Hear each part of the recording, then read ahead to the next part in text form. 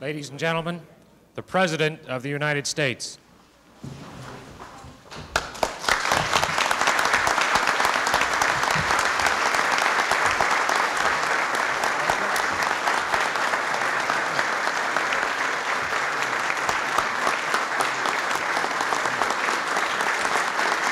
Thank you very much. Thank you. Please. I, I don't deserve that much applause when I'm late. Well, it's a pleasure for me to have all of you back with us at the White House to commemorate the first anniversary of Executive Order 12320 and to reconfirm this administration's ongoing commitment to historically black colleges and universities. Some of you may be aware that I attended a small college in Illinois, Eureka, Illinois. I've gotten used over the years to when someone says, Where did you go to school? And I say, Eureka College. Where's that? And uh, but that was back in the bleak days of the Depression when I was there, and it was a struggle just to keep the doors of our college open. In the exuberance of youth, I was not as understanding of the folks trying to pay the bills and manage to meet the budget as I am now. I ended up participating as a freshman in the first student protest in the history of that college. now, before you decide you're face to face with a student radical, let me say that even now, in hindsight, though I believe our cause was just, and we didn't break a single window, and we had no picket lines, and we didn't carry any placards or signs. We, but seriously, there are only a few jobs harder than being President of the United States, and one of them is being President of a college.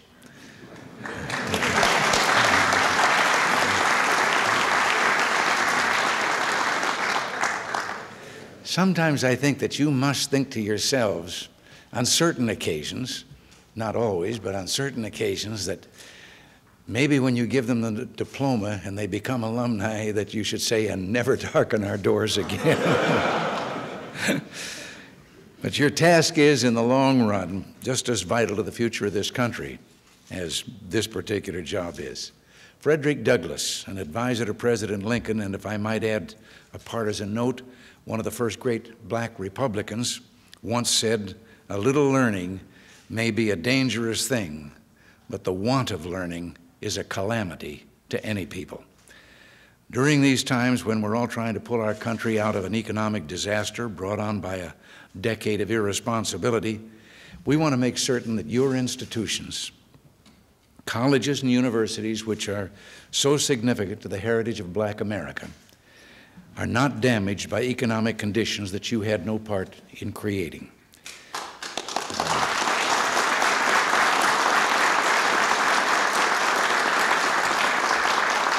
Now, that was an important reason behind our decision last year to move forward decisively in this area. Today, I want to reaffirm this administration's continued commitment, not only so that your institutions will survive, but so that they will flourish. Last year, when we gathered to announce the issuing of the executive order, I don't doubt that there were skeptics who took a wait and see attitude. Last week, when I spoke to a gathering of black Republicans over at the Shoreham Hotel, I told them we should look at the record. Well, I understand that Secretary Bell, Secretary Pierce, and others have been reviewing with you the record of the last 12 months. I deeply believe it's a record of real accomplishment, a record of promises kept. Although I don't want to go over ground that's already been covered, I'd like to mention that I'm particularly proud that we were able to come to the aid of Meharry Medical College when circumstances threatened its survival.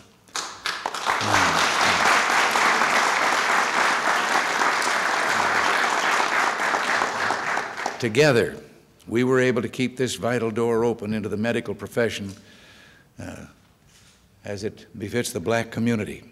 Meharry, a school that was trained 40, trained 40% of all black physicians, was facing a, an avalanche of problems. And we became aware of the need and acted. Among other things, it was in danger of losing its accreditation because it lacked access to a sufficient number of patients to provide its students with the proper clinical training. We directed the Veterans Administration to expand an already existing affiliation with Meharry so that 200 additional teaching beds would be available at a nearby veterans hospital. It's this kind of creative and timely action that we had in mind when we issued last year's executive order.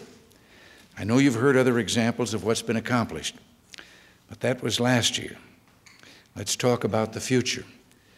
Today, I'm pleased to announce that I'm issuing a new presidential directive to the heads of all federal departments and agencies that will clarify and strengthen Executive Order 12320 and ensure the continued attention to the issues that affect you most. We're directing the federal departments and agencies to target federal program funds to improve the administrative infrastructure of historical black colleges.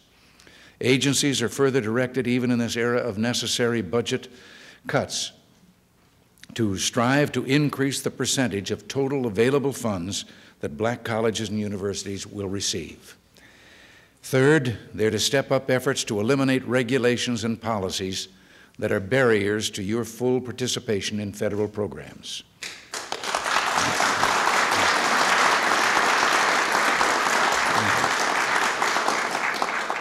The last and potentially most important part of this directive focuses on the need to further enlist the resources of the private sector in our efforts to support historically black colleges and universities. The emphasis on the private sector is consistent with the general philosophy of this administration. We happen to believe there are vast untapped resources out there because for too long people have looked only to government. I want to especially acknowledge that all Vice President Bush has done to get this ball rolling. He's held receptions on two occasions in his home, playing host to many of you, and also to the chief executive officers of 50 major corporations. We now need to move toward campus based action programs, and I'm counting on the private sector office in the White House to provide you with the guidance and creative energy necessary to tap the vitality of the private sector so it can be used where it'll do the most good. Of course, making any initiative a success requires the energy and creative talents of dedicated men and women. I'm particularly proud of the team that emerged over the last 12 months. Secretary Bell has proved, provided superb leadership, and with him in the Department of Education, there's another man who's been doing a magnificent job in your behalf, and I am, of course, referring to Dr. Tom Mahaley. Melady, I should say.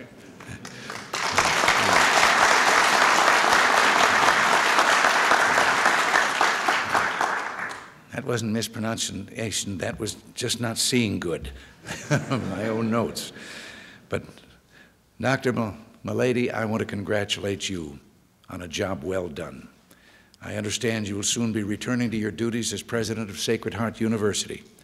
We'll miss you, but we can appreciate that there are others who need your talent. And although Dr. Melady is going, we can all count on the continued efforts of such fine people as Dr.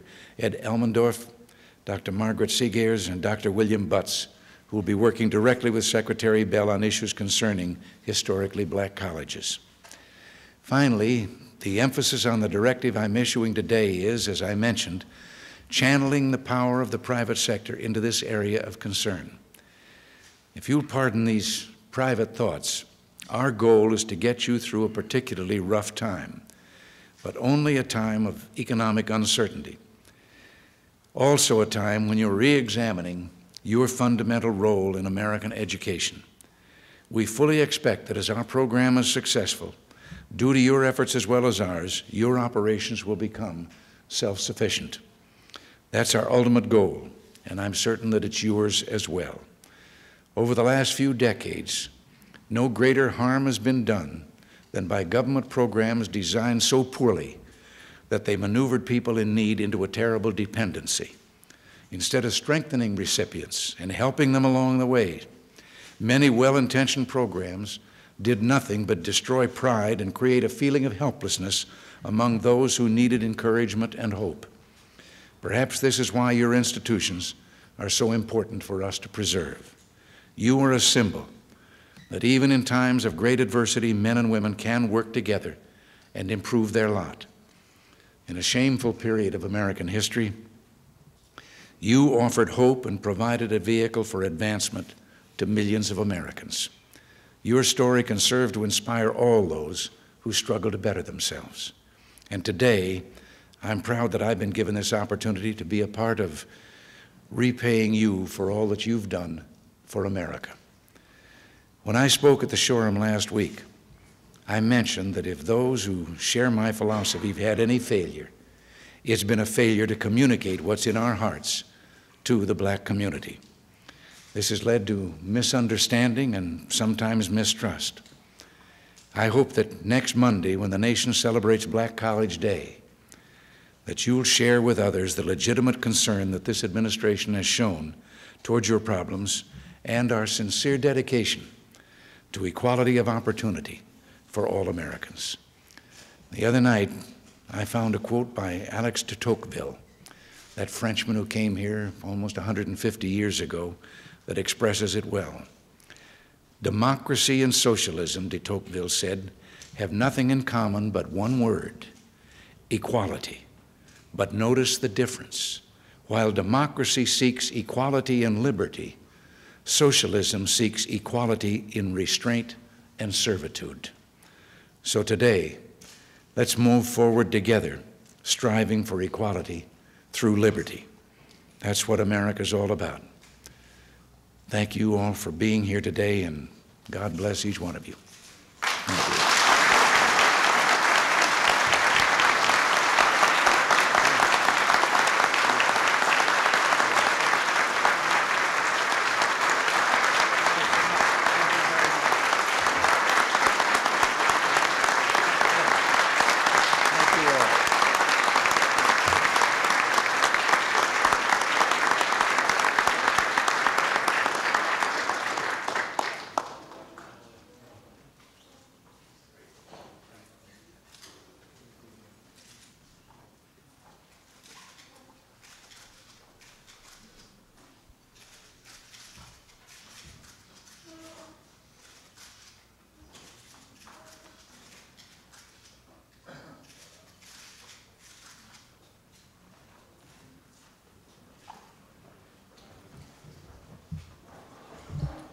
Mr. President, good to see you. Dennis Whitman, uh, Reader's Digest, and Bud the chairman of the Washington Activities. Uh, On behalf of the Boy Club of America, we'd like to welcome our honorary, our honorary chairman, and uh, we'd like to, if you would, uh, make the presentation to the Boy of the Year, and I have the plaque here for you. Well, I'm very proud to do this, John. Thank you very much. Proud to be honorary chairman of this. And I want to congratulate all of the, the candidates. I know what it took to reach that particular point and also compliment and thank you on the service that it means that you've rendered in your communities. And now,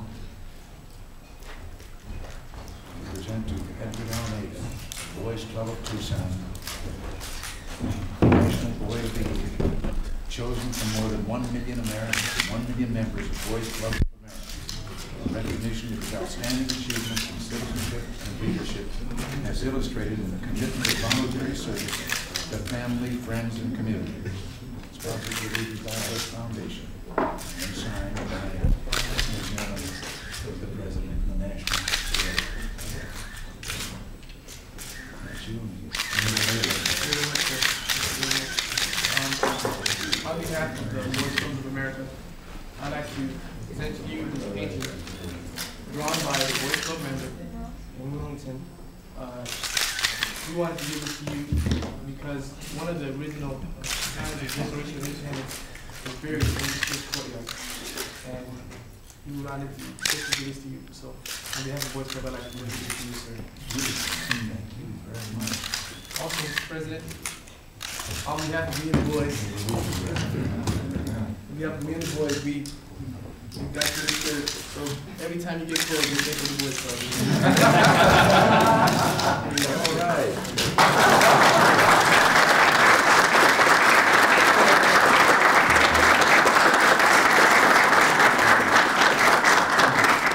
Now, sir, uh, I'd be honored if uh, I'd like to present to you my Director of Operations, uh, Mr. Lloyd Toll. Thank you. Thank you. And I'd like to present to you the other four regional winners and their directors, starting with Orlando. I'm Bill Pope from Denver, Colorado, the director of Boy Scouts of Lexington. Orlando Vega, the runner-up for the Hiking Boy, you're from Denver, Colorado. A pleasure to meet you, sir. It's a real honor. My pleasure. Congratulations to you. I'm Brian.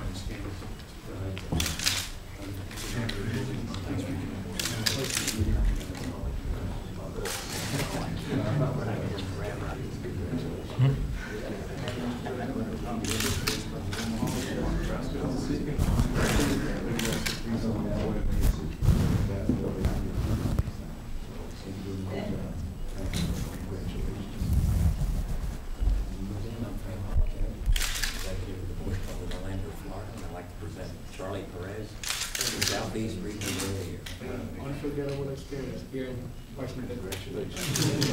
I think all of you would make us proud of the young people of America today. Greatly encouraging to those of us who are a few years beyond you. Uh, Would you please take a picture with me and the other four boys? It'd Really been honored. Very proud of you. Come on, guys.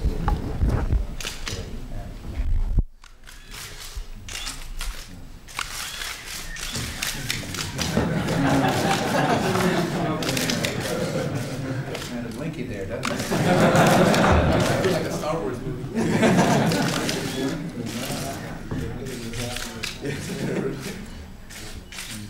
The last guy's arcade game.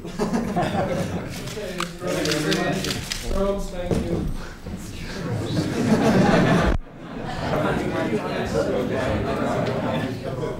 Let you see the Oval Office.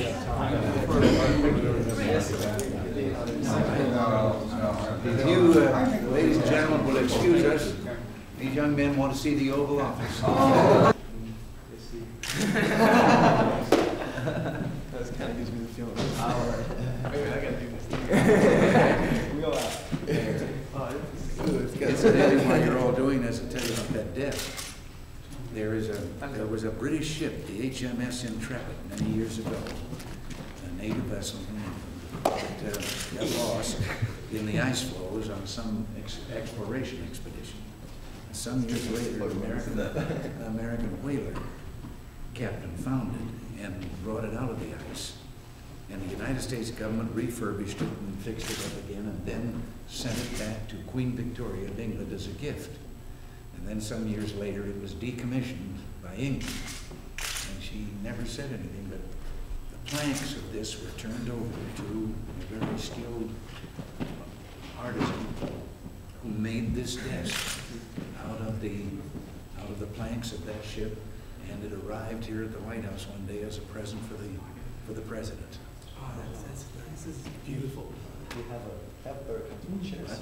What? Have chairs. That happens to belong to me, that was personal. Oh, so those are curtains that are right behind you when you're talking. Yes. Oh, yeah. Those curtains. It's very good taste, Yes, sir. This is. Obey my orders, I'm the president. No. Hold on, There's a my person, turn. Yeah, there's a person with goals. Yes. Um, have you heard of Colonel Fidel? San Juan? Call President. Get him on the phone now. He told me that he spent a couple of days over. Yes. In the conference room.